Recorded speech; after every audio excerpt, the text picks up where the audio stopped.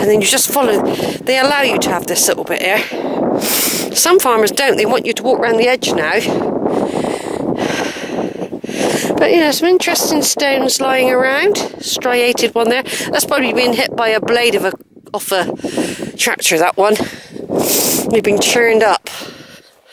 Helps um, keep drainage in the soil by having stones. By the way, you might think, oh, they've got a they've got a purpose. And of course, when you come through here, when I had my shorts on in the summer, you know, you and and the, the the crop is sort of six foot high coming through here. I've got it on video.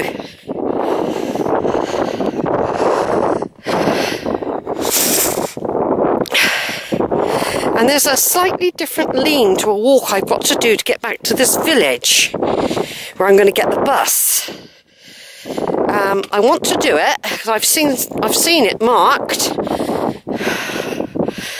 and um, otherwise I'll have to go back the track that I do know back down to this particular village. I don't know if it's called Westbury Sub Mendip. I can't remember actually. It might not be that. That could be a village somewhere else. I can't remember its name, tell the truth. I haven't brought a map today.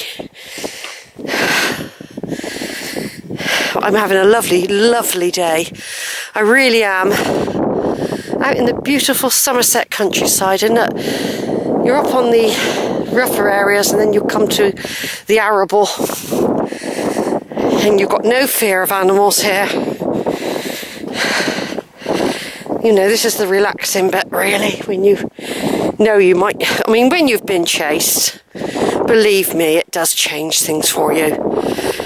It isn't a joke. Um, you could be killed. I mean, you know, even though I was keeping to myself, I've never threatened the cows or anything, and I didn't have a dog.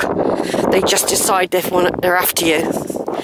I'm, I'm, they've probably had a bad time, and I don't hold them responsible, by the way. I don't hold the cows responsible. They've probably had a bad experience. Hi! Right, I'm going to turn off for a minute now. Take some pictures.